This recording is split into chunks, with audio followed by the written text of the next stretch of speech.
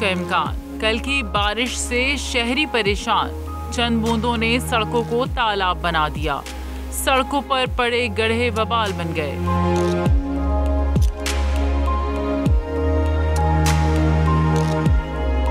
महकमा मौसमियात ने पेश गोई की है कि आज भी कराची में बारिश हो सकती है। कराची के जुनूब मगरब में हवा का कम दबाव मौजूद है। दूसरा कम दबाव वस्ती भारत पर मौजूद होने की वजह से गरज चमक और आंधी चलने का इम्कान है। गुजशत रोज की बारिश ने शहर का मौसम खुशगवार तो किया, लेकिन सड़कों की बुरी सूरत हाल ने मज़ाक किरकिरा कर दिया।